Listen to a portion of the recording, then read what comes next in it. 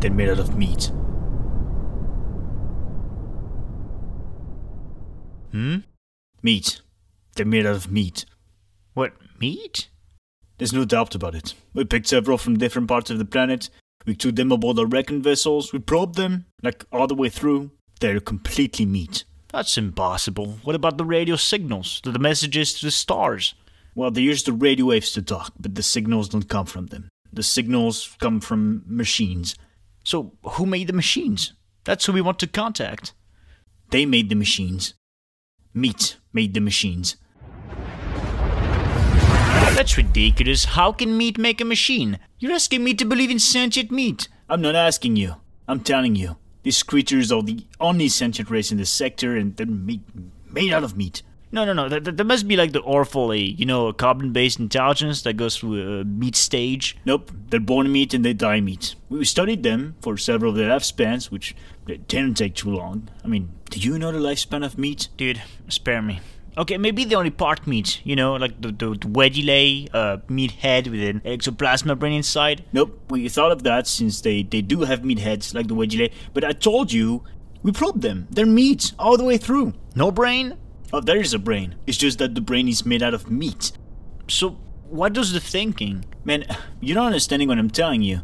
The brain does the thinking. The meat. Thinking meat. You're asking me to believe in thinking meat. Yes, thinking meat. Conscious meat, loving meat, dreaming meat. The meat is the whole thing. Are you getting the picture? Damn. You're serious then? Made out of meat. Dude, finally. Yes. They're indeed made out of meat, and they've been trying to get in touch with us for almost a century. So, what does the meat have in mind?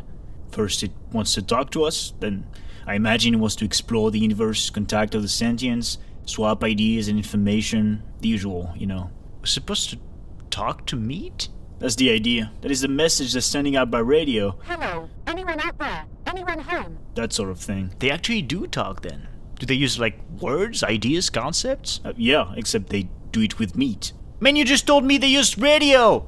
They do, but what do you think is on the radio? Meat sounds. Dude, meat sounds. You know how when you slap a flap meat it makes a noise? They talk by flapping their meat at each other. They can even sing by squirting air through their meat. Wow. Singing meat. This is altogether too much. What what do we do with this? Um, officially or unofficially? Both? Officially, we are required to contact, welcome, and log in any and all sentient race in the sector without prejudice, fear, or favor.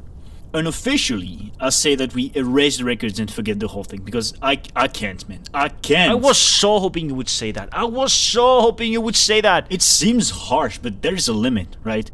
Like, do, do we really want to make contact with meat? I agree 100%, man. Like, what is there to say? Like, hello, meat? What's up? How's your metabolism going? Is this even gonna work? How many, how many planets are we dealing with here? D- don't worry, it's just just one. These guys can only travel through meat containers and they never cross light speed, so there's no way they ever reach us anyway. Okay, so we just pretend there's no one home in the universe? That's it. That's cruel, man. But you said it yourself. Like, who wants to meet meat? And what about the ones in your recon vessel? You sure they won't remember? They'd be considered crackpots if they do. We went into their heads and we smoothed out their meat so that we're just a dream to them. A dream to meat! How appropriate! That we should be meat stream! That's so dope! I know, right? Yeah. Okay, I just marked the sector unoccupied. That's awesome. Officially and unofficially. Cased, closed. Any others? Anyone interesting on the side of the galaxy that's not meat? Um, yeah. You remember this kind of shy but sweet hydrogen core cluster intelligence we met? It was in the Class 9 star under G445 zone. It contacted us two galactic rotations ago. Wants to be friendly again. That's so great. Man, they always come around. They always come around. Yeah, I mean, why not? Come on, imagine how unbearably unneutral be cold the universe would be if you were all alone. Yeah, dude. That would suck.